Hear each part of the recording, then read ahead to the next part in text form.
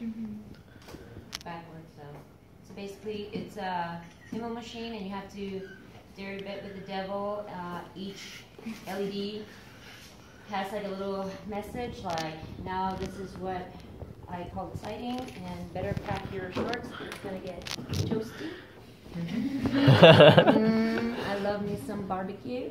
And here comes another red hot customer. And then at the end, it either goes to lucky you, where you're free, or you're mine, and that's you go to hell.